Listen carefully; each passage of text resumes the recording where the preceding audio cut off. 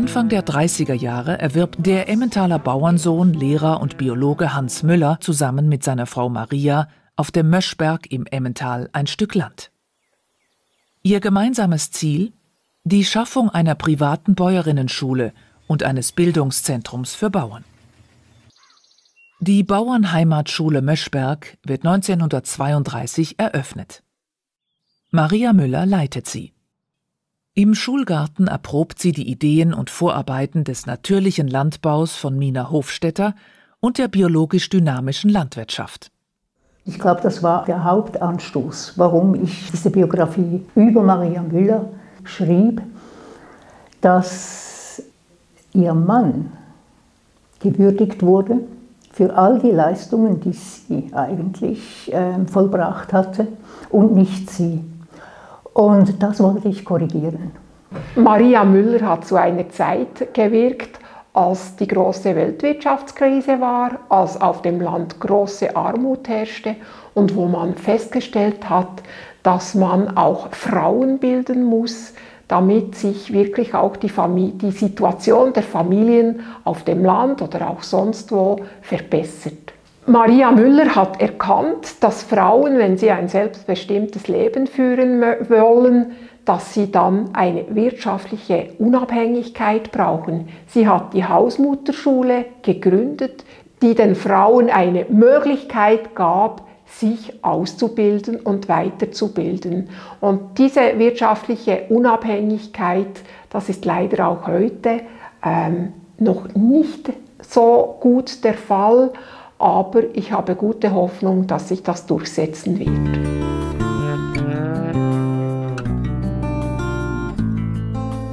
Ich habe über bäuerliche Ökonomie äh, gearbeitet und also geforscht, auch empirisch, ganz viel in verschiedenen Ländern. Und mein Fazit war, das ist eine Bäuerinnenwirtschaft, eine Bäuerinnenökonomie, denn diese anderen Werte, die die bäuerliche Ökonomie unterscheidet zu der herrschenden, zu der Maximierungsökonomie, sind ganz wesentliche Bäuerinnenwerte.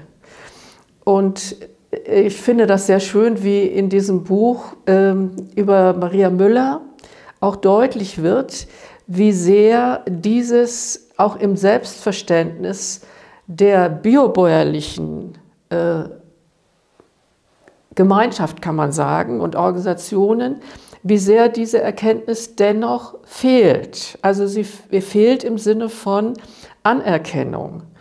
Und das ist das, das Tragische daran. Denn immer wieder auch heute, und das sehen wir, der Bioanbau orientiert sich an der Kommerzialisierung, an den kommerziellen Werten und vergisst damit letztlich diese Bäuerinnenwurzel.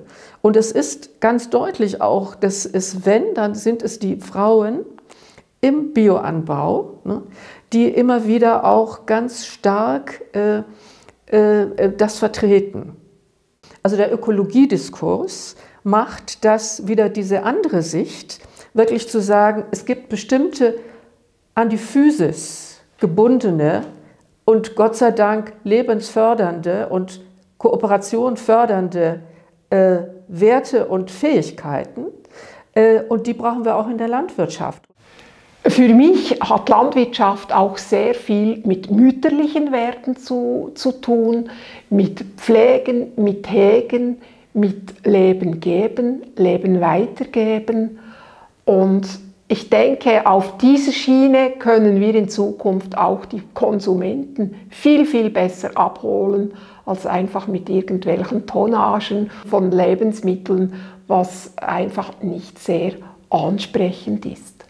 Im Verlauf meiner Forschungen stellte ich einfach immer mehr fest, dass da eine unglaublich großartige, überragende Persönlichkeit am Werk war oder ähm, enorm vieles geleistet hat, was bis heute nachhaltig ist.